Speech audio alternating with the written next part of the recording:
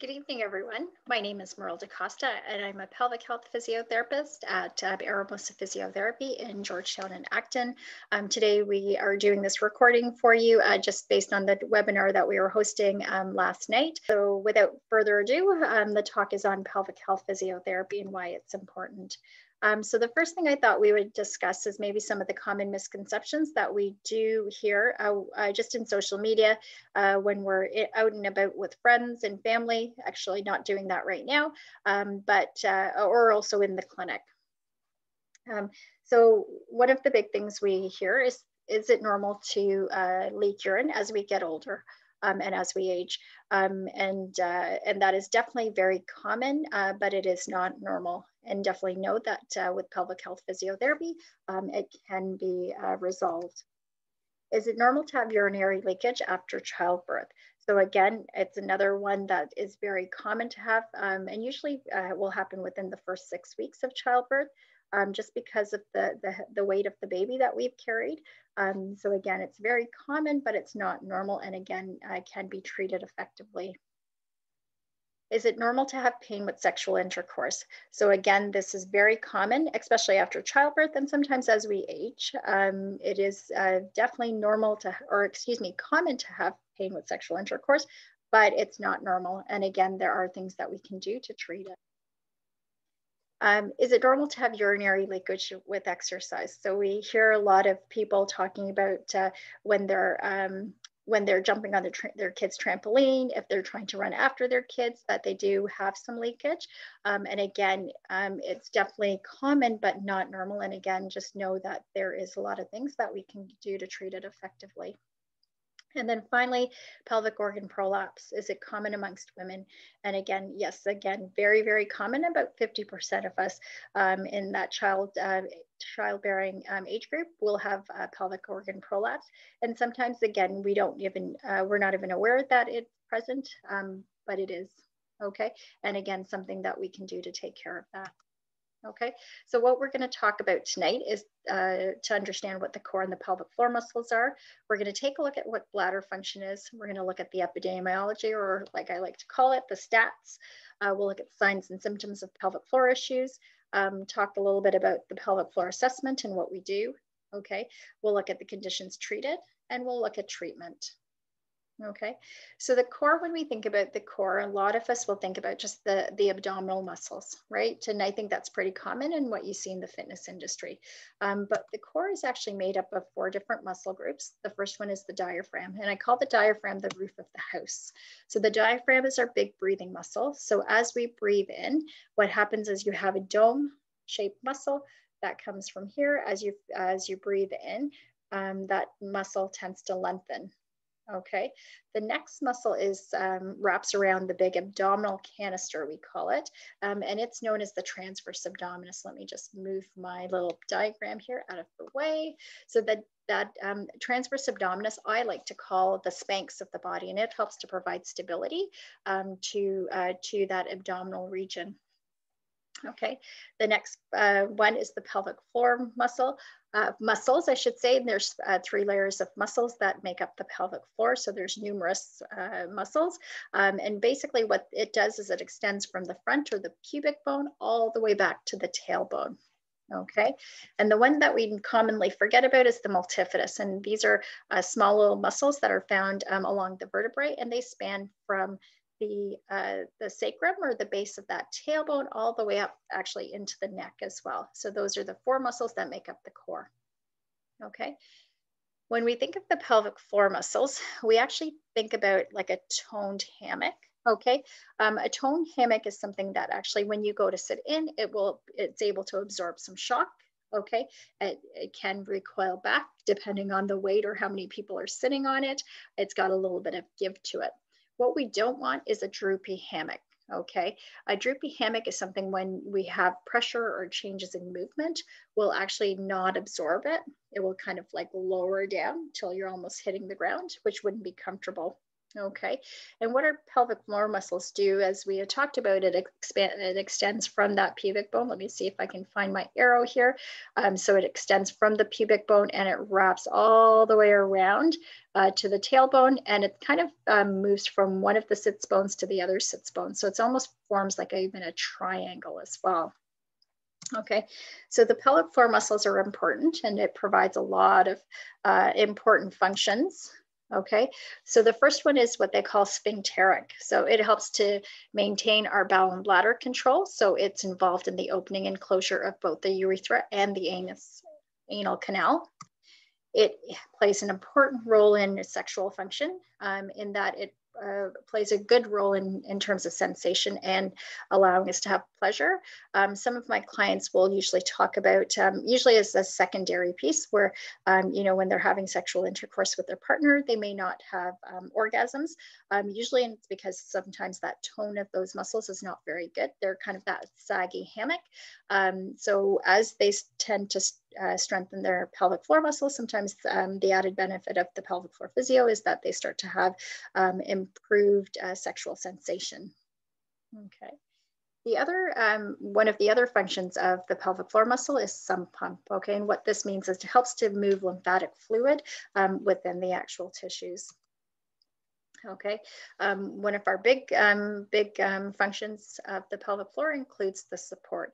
So what it does, it actually supports our organs, um, particularly the bladder, the uterus, and the rectum. And then finally, it, um, it's part of the core muscles and it helps to provide stability through the low back, hips, and your pelvis area.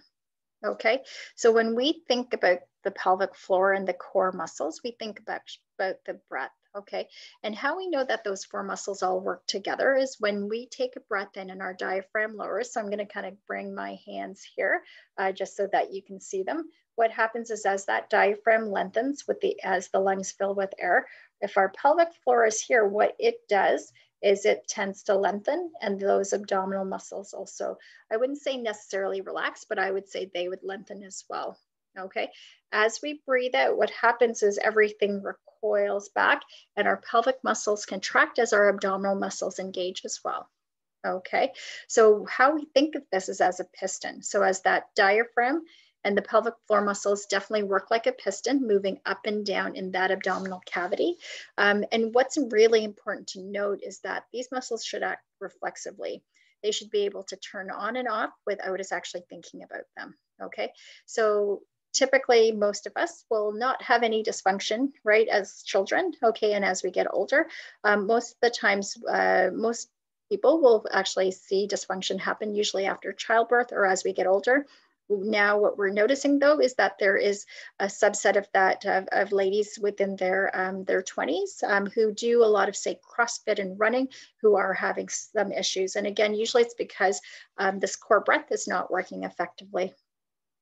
Okay, so one of the other things to really understand is how that bladder functions. Okay, and I call the bladder um, essentially it's like a storage tank. All right, and it's a storage tank which actually has a muscle called the detrusor that actually sits around that, that tank. Okay, so as you're eating and drinking all day, what happens is the bladder tends to fill with urine, right? So the byproducts of the kidneys kind of dump into that uh, into that bladder, and as that bladder starts to hold more and more fluid, what happens is there's a stretch in that detrusor muscle that surrounds surrounds it when you get to almost a cup of water, 250 mils of water, what happens is your um, that stretch of that muscle or the detrusor muscle sends signals to the brain to let your body know that, hey, it's time to go to the washroom. Okay. And so that's typically that first urge to go. Okay. Usually, when most of us have that first urge to go, what we do is then say, hey, it's time to go to the washroom. So we go and find that washroom. Okay, um, as we go to sit down, what happens then is our body recognizes that, all right, Meryl has sat down on the toilet, so it's time to allow those pelvic floor muscles to relax and uh, time for me to, to empty out the bladder. Okay, and then that cycle goes again. All right, there's a number of different things that can cause that to dysfunction to be dysfunctional. Um, some of those include, you know, the just in case piece. So, you know, we know that we're going on uh, a long car ride. So what we do is that we um, go to the water, the bathroom just to go just in case. The problem is, is when that when we start to do that more and more regularly, what happens is that bladder starts to think that instead of you know, waiting till that there's one cup of water within our bladder, um, we feel that, it, or it realizes that, oh, you know what, Meryl likes to go to the washroom when there's only, say, you know, um, 100 mils of, of water in her bladder. So what happens then is that brain, when it gets to that 100 mils, it gives me that signal to say, go to the washroom. So when then you go to the washroom, you realize, oh, there wasn't a lot to go all right. So it's really, really important that we start to recognize that we only go to the washroom when it's telling us. So why is pelvic health important? Okay, so, uh, and this is where the stats come in. So we know that 3.3 uh, million Canadians will have urinary incontinence, um, and that's one in four women. And we sometimes forget that men have pelvic floors as well. So we know that one in nine men um, will also have incontinence as well. Okay, um, chances of urinary incontinence in women. So, um, you know, 20, and we had just mentioned this, that 20 to 30% of uh, young adults, so usually below the age of 35, will have urinary incontinence. As we get into that middle age, it's 30 to 40, and then later age, it's 30 to 50 Okay, um, there are three different types of urinary leakage that include stress urinary leakage. Um, that is when we uh, laugh, cough, sneeze, and jump um, mixture is uh, where there's a mixture of um, urge incontinence um, and the stress, okay? And then again, urge urinary incontinence. So that's where we feel like we've got to go and we just can't hold it, okay? Um, we know 50% of women at some point in, the, in, their life cycle will experience some um, urinary incontinence and 33% will develop regular problems. Okay, so the key factor here is to know that there is a direct and indirect cost that's associated with urinary incontinence. I was trying to look for some newer stats um, uh, and couldn't find any, but in 2014, um, the cost was $5.3 billion. Uh, so it was probably a total of, say, if we were looking at um, uh, individuals, would be about $6,000 a year um, were reported per year okay, um, spent on um, spent on incontinence products. Um, and we know that the average cost of pelvic health physio is about physiotherapy is about 500 to $700 a person. Okay. So when we talk about um, talk about urinary incontinence, we also have to realize that there are some social consequences that can be detrimental um, to people's health okay and usually because uh, when people start to um, to start to leak um, there can be decreased self-esteem, right? We're really embarrassed uh, because, you know, we've, uh, we've in our, pa our pants. Uh, we don't want our friends to know. Uh, we start to feel bad about ourselves. Um, and as a result of this, we will also then start to get depressed. Uh, we may not be going out as much. We may be limiting how far we go. Um, we're, we're usually then planning as to, you know, where is that next washroom? Um, you know, are we able to stop in? And we may stop um, going out altogether. Okay, and as I mentioned, it impedes that social activity. Okay, um, and we also know that physical activity declines um, as well. All right, and we stop doing our typical activities of daily living. Okay, now there's a number of risk factors and I really like this diagram. So, you know, one of the risk factors they had in there is prostate surgery. And I think we're mainly focusing on women here. Um, but just know, as I mentioned, that uh, males do have pelvic floors as well. Um, we know as we get older, um, definitely um, our muscles tend to weaken and it can be a risk factor. Uh, we know that with pregnancy and childbirth, depending on birth trauma, um, because we carry babies and load for nine months, it can definitely impact our pelvic floor. Um, genetics uh, can be a big thing. Uh, there's a lot of research now talking a lot about um, um, our connective tissue um, and how it can impact or be impacted um, uh, from your uh, from family member to family member. Um, hysterectomies as well can also impact our pelvic health because of the change in hormonal levels. any sort of pelvic floor injury, and that can be classified in birth trauma as well. Um, increase in abdominal pressure, and we'll go over this a little bit more as we uh, as we kind of move through the presentation. Uh, chronic constipation is another thing because the load placed on the pelvic floor. Um, intense physical effort, so you know, uh, lots of running, um, CrossFitters, um, obesity is another one, and also a history of uh, back pain as well. Okay, so some of the common signs and symptoms that we hear in the clinic include um, urinary leakage from running, jumping, coughing, sneezing, sitting to standing. Um, we'll um, hear people um, talk about painful intercourse, uh, frequent urination, the inability to hold urine, they just can't make it to the washroom, um, dribbling after they urinate, sensitivity at the vaginal opening, or just pain and discomfort um, difficulties keeping the tampons or the Diva cup in, feeling pressure in their vagina, and sometimes a burning or stabbing pain in the pelvic region.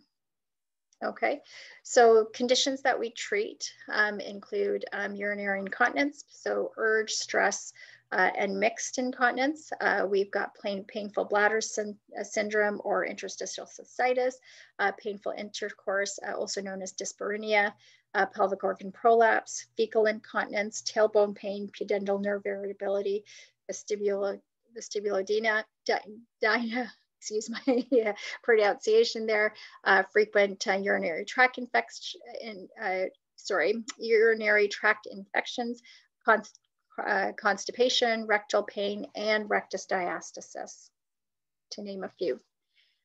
So what is pelvic health physiotherapy? So um, with pelvic health physiotherapy, what we do is we actually will um, start with a subjective assessment, okay? And typically I find with my subjective assessment, um, we're kind of unpacking um, a whole health history. So we're looking um, to understand, um, you know, is what brought you into the clinic, okay?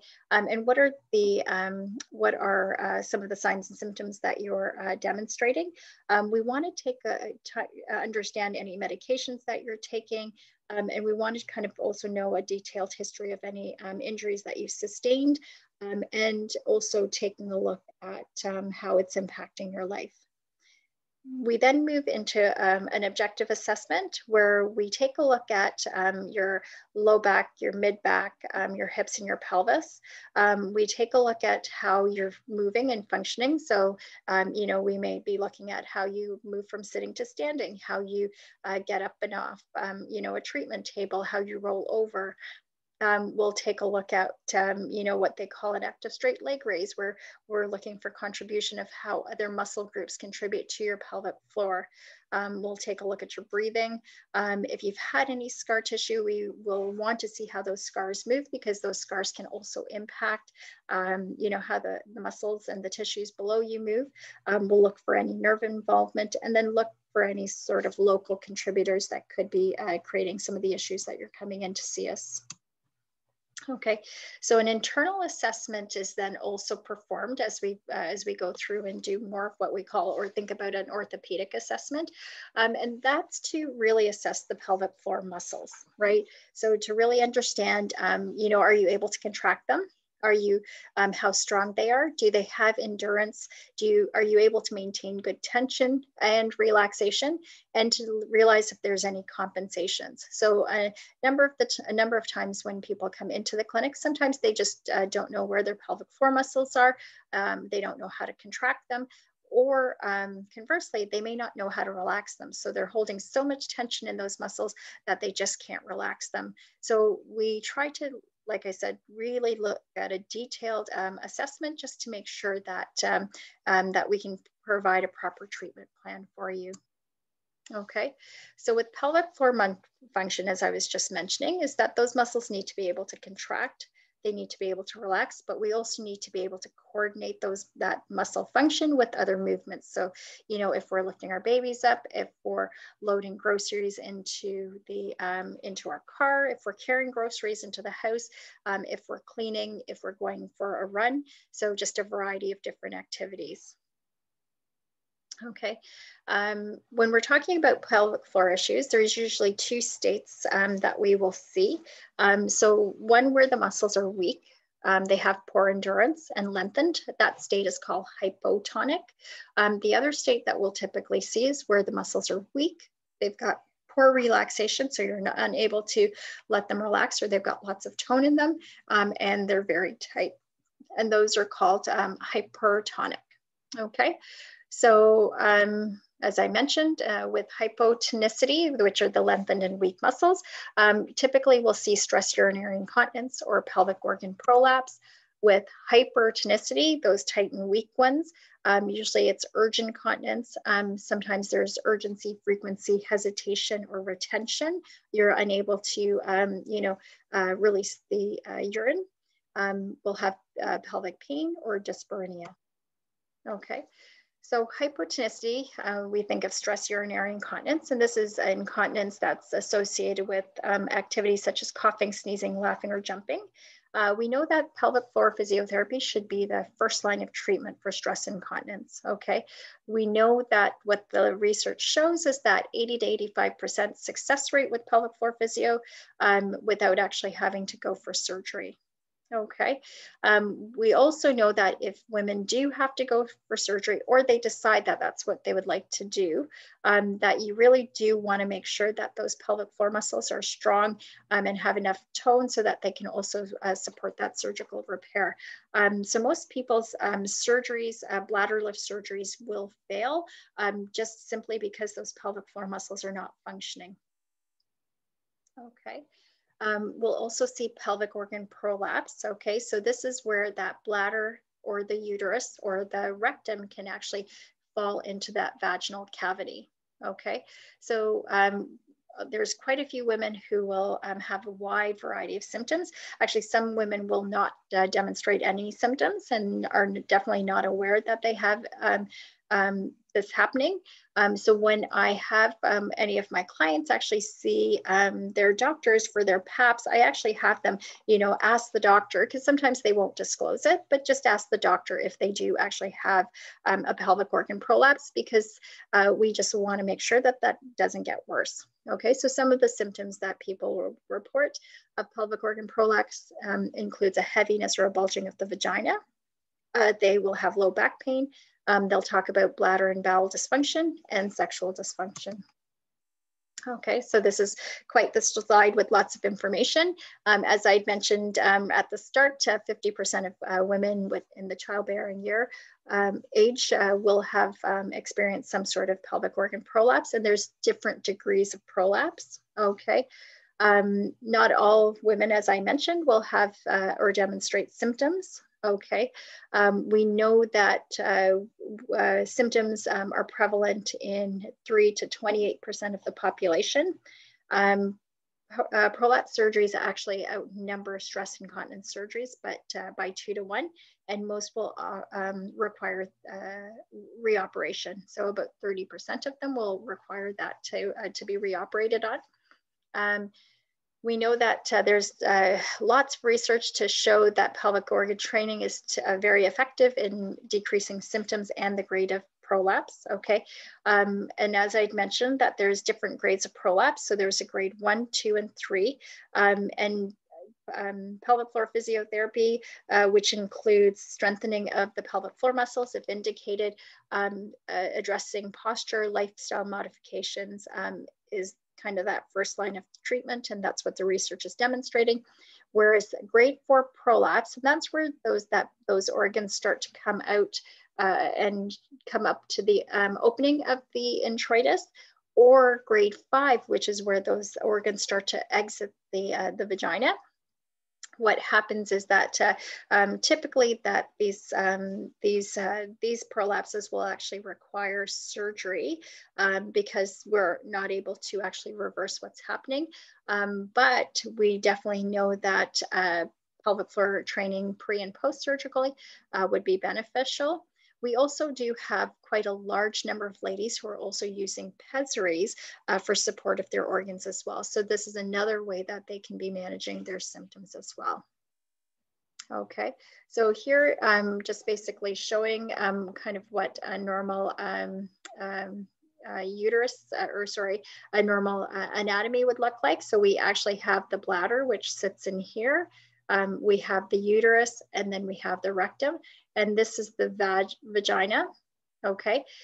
this picture here basically shows that that bladder, just because of the weakening of this abdominal wall, the bladder starts to fold into the vaginal cavity.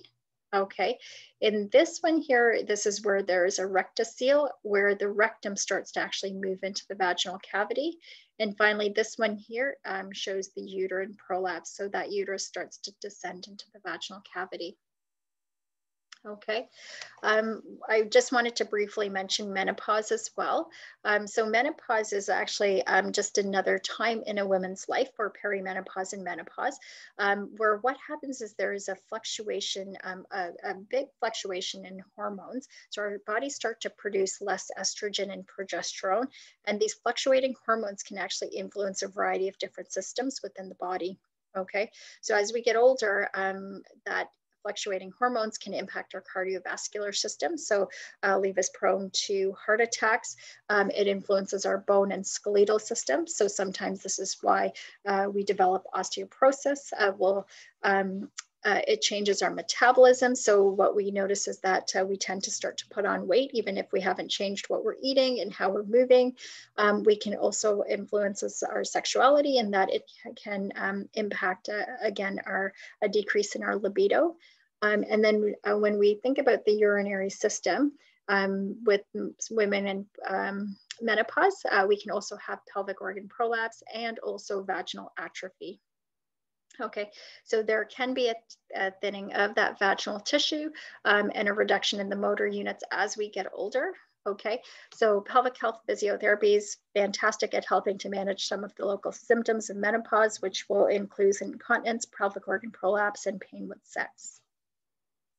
Okay, so that next state that we're going to be talking about is the hypertonic pelvic floor muscles, right? So these, are, this is that state where those muscles can be weak, um, they're tight, um, and they're also short. Okay, so um, as we mentioned, um, some of the symptoms that you'll have is uh, urinary urgency and frequency, um, where you're going to the washroom quite a bit. Um, we'll have chronic pain states, vulvodynia, interstitial cystitis, endometriosis um, will have urinary hesitation and retention where, you know, you go to the washroom, you feel like you have to go, you get up, you kind of do a jig, you sit back down, and then you're able to empty some more.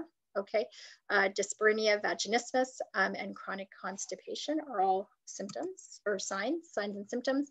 Um, with the hypertonicity or pelvic pain, um, typically, again, they're related to muscle tension and includes a sensitized nervous system. So sometimes our nervous system is that fight or flight response system. So sometimes uh, we're consistently in that uh, fight mode. Okay, um, most individuals will also have uh, pain in their back, hips, and pelvic girdle, um, and it's usually related to that tension in the pelvic floor muscles. Um, and again, um, that tight uh, and tight, weakened pelvic floor muscle, um, they're not able to contract as strongly in response to increases in intra-abdominal pressure. So with coughing, laughing, and sneezing, and as a result, stress urinary incontinence will occur.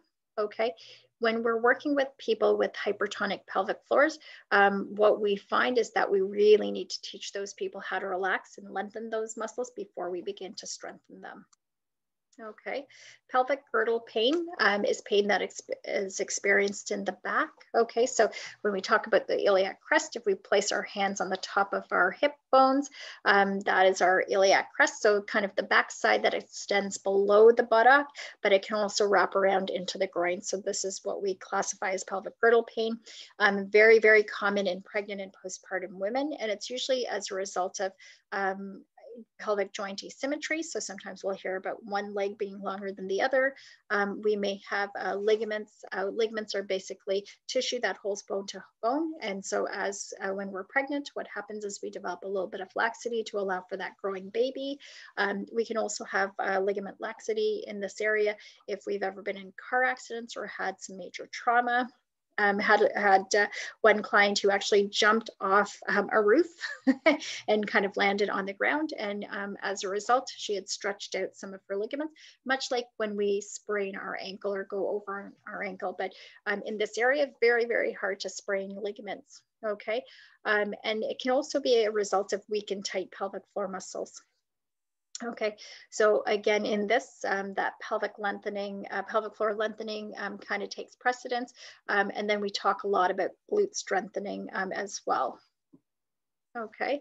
With respect to sexual function and pain, um, the, the, area between the vagina and the anus is called the perineum. And uh, we uh, lovingly call this place the Grand Central Station. Um, and that's because a majority or a lot of the pelvic floor muscles attach and insert in this area. And sometimes that tissue um, becomes very immobile. Um, also, um, if we've had uh, ch children, um, we they will usually cut into that tissue, and that um, scar can actually um, not allow that tissue to move very well, um, and that can contribute to pain. Okay, so usually uh, when we have uh, sexual function uh, or dysfunction and pain, um, usually it's because that there's lots of tension within those muscles um, as well. Okay, um, with a lot of our clients who do have this dysfunction, um, the doctors will normally send you for a variety of different tests, and like in uh, pelvic um, pelvic ultrasounds, abdominal ultrasounds. They may do some blood work, but usually all of those tests come back negative. And again, usually it's usually the it's more uh, mus muscular tension that can be contributing to that. Okay, uh, we know that 31% of most women after um, um, after having their first baby will still have pain, um, and with sexual intercourse, usually at about six months. Okay, um, but we know that those tears and incisions are usually healed by six to eight weeks. Okay, so um, pain um, after that is usually commonly related to a short, tight pelvic floor. it can also be related to changing changes in hormone levels as well. Okay, um, so when we think about um, um, postpartum periods, um, we really know that the uh, pelvic floor needs to be strong enough to support the, the woman's body as she begins to exercise again. Okay, uh, when you have that six week postpartum checkup, um, I really um, like um, my clients and uh, advocate for my clients to really talk to their doctor about actually having them um, check their abdominal region, making sure that they don't have any rectus diastasis. Uh, we also want to make sure that they do do um, an internal assessment uh, where they check to make sure that that scar is healing well, that incision is moving well. Same thing if you've had a C-section as well, we want to make sure that C-section scar is moving well. Um, you also want to make sure that, you know, have them check that that your pelvic floor is, is, is working well and functioning well. Okay. Um, usually at about that six week postpartum mark, um, I usually try to encourage my clients to come in and see us, um, just again, so that we can make sure that your pelvic floor is functioning and that those muscles are working with all of your other muscles um, just before you start back to activity. Okay, um, just remember that activities such as running, abdominal crunches, boot camp drills, weightlifting, and Pilates, um, they can also increase pressure on the pelvic floor. So if that pelvic floor is function is, or, or pelvic floor muscles are not functioning appropriately, um, it may be that you're just not ready to go back to exercise. And you might have, um, you know, you might then develop incontinence and uh, prolapse. Okay. So what we're looking for when people come into the clinic is a minimum of a grade three contraction. We also need to make sure that that pelvic floor muscle is working well with your abdominals and your glutes um, so that you're not having any sort of um, developed any sort of compensations. Okay, so when you go back to, uh, to exercise. Um, one of the things I do point out to my clients now, so back in 2019, um, uh, some uh, physiotherapists out of, um, out of England um, or the United Kingdom uh, produced a return to run guidelines. Um, and so they are actually free. Um, all you actually have to do is uh, Google those uh, postpartum return to run guidelines. Uh, Tom Goom is one of the authors. Um, and you can actually get that. And it's actually got some great information there. Um, and I utilize this information not just for my clients who want to return back to running, but also for those clients who just want to exercise in general. Okay, so they go on um, a, a, series of, uh, of activities and exercises uh, looking at the different weeks. Okay, so what you can do and start in week zero to two, um, and they go 12 weeks and beyond as well. Um, and there's not even just exercise or a talk about exercising, but they also talk about energy levels. They talk about food consumption. They talk about compression garments that you can also be using as well. So very helpful. Okay. Um, so again, a number of our different our, our clients will also come into the clinic and kind of wonder or let me know that I've been doing my Kegels. My doctor told me to do Kegels and you know what, I've done them and they're just not working. So there's many reasons why um, my Kegels or pelvic floor contractions uh, may not be working. okay? Um, and usually because there's not as many sensory nerves or what they call mechanoreceptors in that pelvic floor um, region. Um, so sometimes there's um, not as, uh, as good um, awareness, okay? And also because we can't see those muscles. So um, typically say if we're looking at our bicep, which is that muscle in the front of the arm, you know, we can see it, we can touch it, and typically most people can't see their pelvic floor muscles, so they're just not aware of them, okay? Um, as we've mentioned before, sometimes there's scar tissue. So scar tissue in the vaginal area, scar tissue in the abdominal region. So when we have that scar tissue, what it does is it can actually adhere to the tissue below it. So that tissue may get stuck um, and then it may not move well. So what we need to do is teach you how to, or you can do this, um, you know, start to get some of that, that scar tissue moving that will help to uh, allow the muscle below and the tissues below to start to contract and relax a bit more appropriately. Um, and it also um, uh, uh, with movement as well.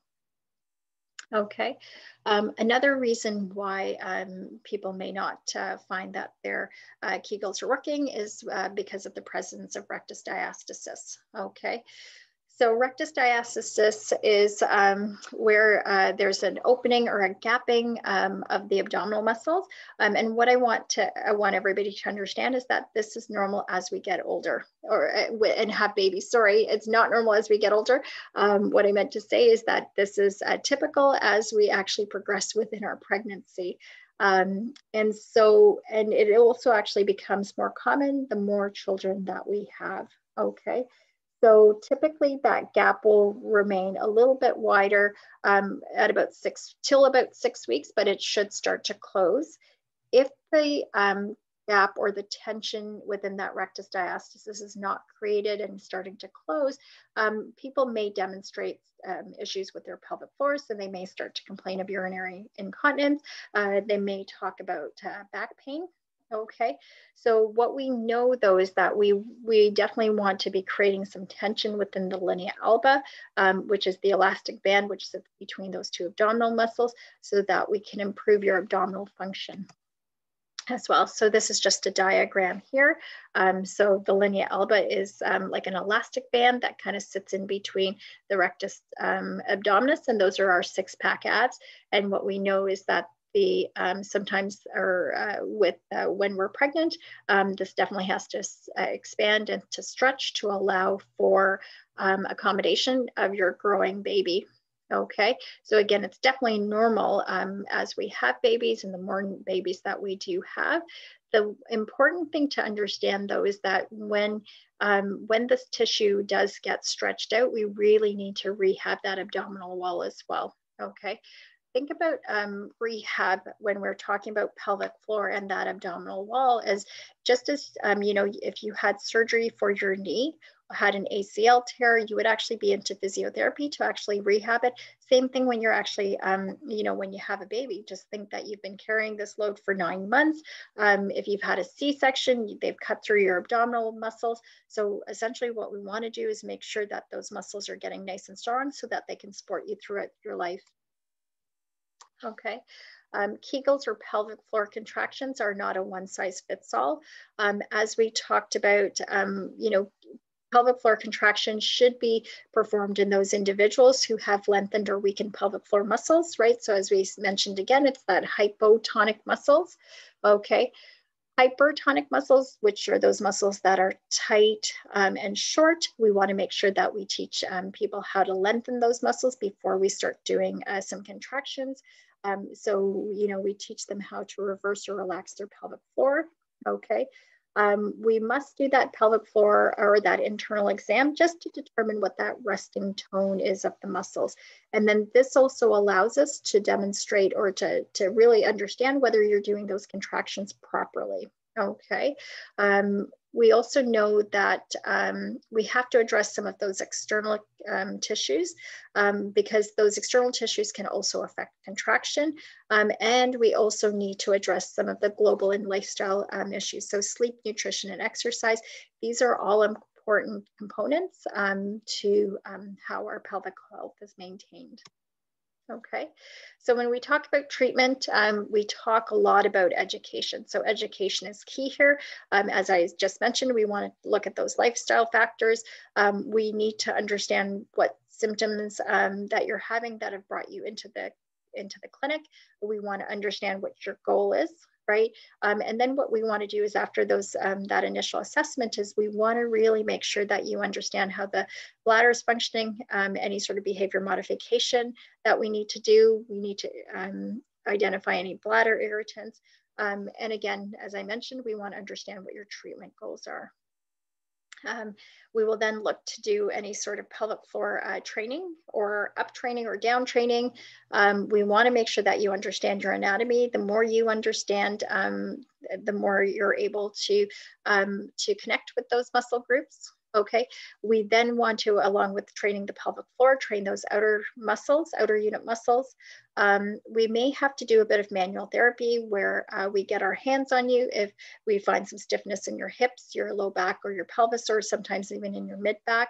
Um, and on the odd occasion, uh, we sometimes will use um, electrical stimulation or biofeedback. So sometimes my clients, when we've worked um, together, we've kind of addressed, say, some of the soft tissue and we're working on cues to connect with the pelvic floor. Sometimes our clients just can't get that contraction. So what we sometimes will use is this biofeedback feedback machines or electrical stim, where it actually helps to teach the clients how to contract their muscles if they're not able to do so. Okay. So uh, just some tips as we're finishing up on some good bowel and bladder care. Um, so uh, sometimes our clients, um, because of incontinence issues, they tend not to drink, okay?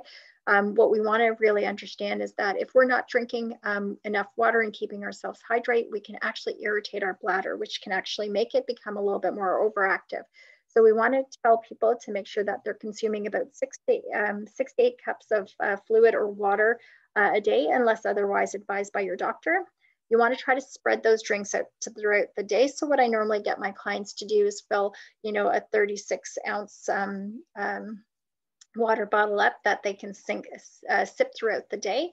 Um, you want to try to cut down on sugary and caffeinated beverages. Um, I try never to say never to caffeine, um, but usually what I'll recommend is that if you're having incontinence issues is, you know, stop that caffeine um, or drink prior to 12 o'clock um, in the afternoon um, and try to avoid it after that time okay? You wanna make sure that you're eating a healthy diet. So it's really important to eat lots of fiber. So lots of green leafy vegetables. And that pretty much sounds pretty consistent uh, across the board from what, uh, what we're hearing these days. Um, we want to make sure that we're active. So we want to try to aim for 30 minutes of exercise regularly. Um, it's about 150 minutes a week of cardiovascular exercise and two times a week of strength training. Um, and those are based on the, um, the WHO guidelines okay, uh, for individuals who are 18 years and over, okay? And then we want to start to practice good toileting habits. So we want to make sure that we go to the toilet when we have that urge to go. So don't push it off, okay? And try not to get into that habit, as I mentioned earlier, if that, you know, go just in case. And that applies to our kids as well. And I've definitely very much a culprit at that. When we were going on those long car rides, we would tell the kids not to go or go to the washroom just in case because we were going on that long car ride and they, you know, they'd always fight you because they didn't have to go. So like I said, trying to avoid those things because again, we can retrain our, uh, our bladder to actually start to go a bit more frequently. Um, one of the big things we see with lots of our clients and especially those 80s babies um, i say or those 70s babies where we got told to kind of suck our abdominals in um, because it would train our abdominals and keep them in tone. Um, just uh, remember that when we do suck those abdominal muscles in we'll also increase our pressure within our pelvic floor um, area. Um, and so if that if we increase our pressure in that pelvic floor it can also lead to pelvic organ prolapse as well. Um, so we want to make sure that those uh, abdominal muscles are relaxed. Okay, so try to let those uh, relax as you're um, as you're standing, you're sitting, and same thing when you're doing your exercises. So when that core is functioning appropriately, we shouldn't actually think about suck, sucking those muscles in. Okay. Um, and then the final thing, um, because sometimes we'll, we'll get people who recommend uh, practicing going, uh, stopping the flow of urine on the toilet. So again, um, as I explained how that bladder works, we wanna make sure that we're not practicing our pelvic floor muscle crack contractions on that toilet, because what happens again is that we can train that bladder to make sure, uh, to uh, contract and relax as we're going to the washroom and, and the pelvic floor muscle. So we wanna make sure that we don't start and stop that flow of urine uh, when really we should be teaching those muscles that they just need to relax to empty out that bladder. All right. Um, so um, that is our talk for tonight. Um, again, I do apologize for, uh, for the mix-up that we had yesterday. Um, so I hope that was informative. Um, what I've done um, up on the screen is just left either our Georgetown at Eramosa email or the Acton at Eramosa email. So if any of you have any questions, feel free to uh, send us an email. Uh, maybe just put in a tagline, you know, pelvic health questions re regarding the webinar. Okay, so hopefully um, everybody had a good night. Um, take care.